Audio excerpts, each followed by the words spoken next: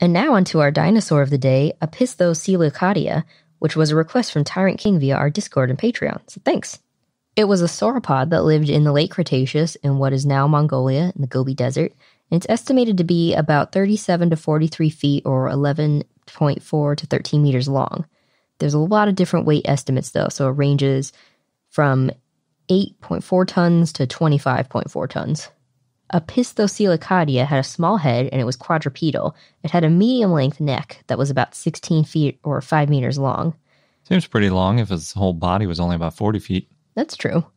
Gregory Paul in 2019 found that there were 10 dorsals, which is the number found in titanosaurs.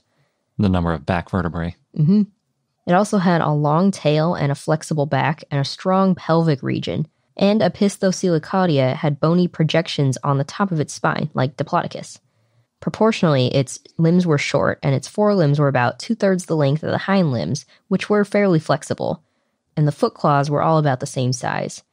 It may have used its tail like a third leg when it reared up, which meant that it had a flexible tail. The thick pelvis may show that it was strong enough to rear up.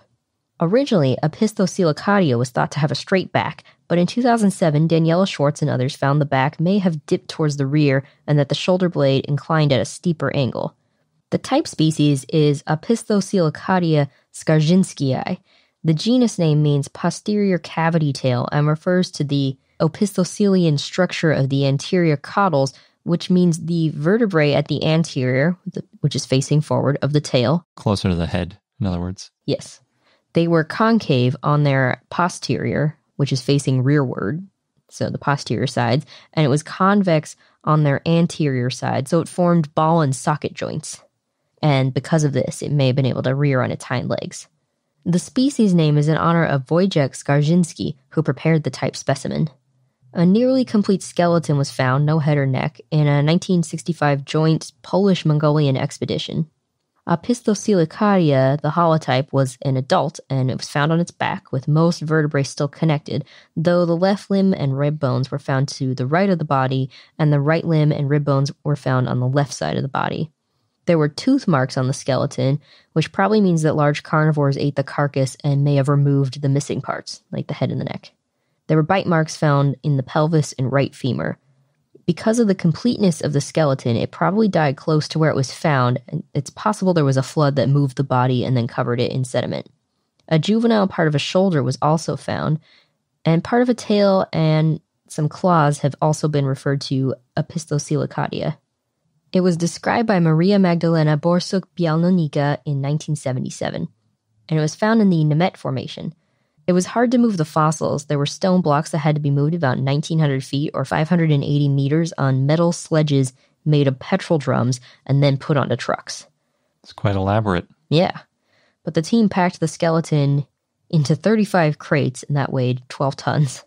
The holotype was part of the collection at the Institute of Paleobiology in Warsaw and then later went back to Mongolia, and now it's at the Institute of Geology of the Mongolian Academy of Sciences in Ulaanbaatar. There was another sauropod found in the Nemegt Formation, Nemegtosaurus, and that's known from one skull. Opisthocoelicaudia, the skull is not known, so some scientists think Opisthocoelicaudia and Nemegtosaurus are synonymous, and if they're synonymous, then the name would go to Nemegtosaurus because it was named first in 1971. Yeah, it's tricky when one of them you know most of it except for the head, and the other one you only know the head. Mm-hmm. it's not a great place to be in. Right, because you can't properly compare anything. So Nemegtosaurus was found in the same expeditions as Opisthocoelicaudia, but it was thought to be from different clades. Uh, Nemegtosaurus was originally classified as Dicraeosaurinae. Opisthocoelicaudia was Camarasauridae. Now both dinosaurs are thought to be titanosaurs, and Opisthocoelicaudia is now classified as Saltosauridae. If they both end up in Saltosauridae, then that could be trouble for getting synonymized. Because it'd be more likely? Yeah. I think it might be a case of need more fossils. Although, Phil Currie and others in 2018 found some postcranial fossils in the quarry where Nemegtosaurus was found, and that may have belonged to the holotype. And that could help support the idea that Nemegtosaurus and Opisthocoelicaudia were synonymous. Other scientists think femora found are Nemegtosaurus and that the femora is different from Opisthocoelicaudia, which would make them two distinct dinosaurs. Sauropod footprints have been found in the Nemegt Formation with skin impressions, and they're probably either Opisthocoelicaudia or Nemegtosaurus. A skin impression of the footprint shows non overlapping scales, and there's also claw impressions. The footprints found were very large, so they were probably made by a dinosaur larger than the type specimen of Opisthocoelicaudia. Other dinosaurs that lived at the same time and place as Opisthocoelicaudia include Tyrannosaur, Tarbosaurus, Ornithomimosaur, Deinocheirus, Sauropod Nemegtosaurus, of course, Troodontid, Borogovia, and Ankylosaur tarchia. And other animals that lived at the same time and place included fish, turtles, crocodiles, and birds.